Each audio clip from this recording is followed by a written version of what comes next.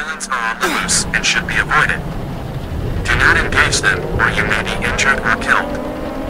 Games are being invaded and destroyed. I repeat that this is not a drill. Stay inside. Protect your families. Keep doors locked and windows closed. Use boards to secure your windows and doors. Their leader is Scary Larry. If you see him, you need to run or hide.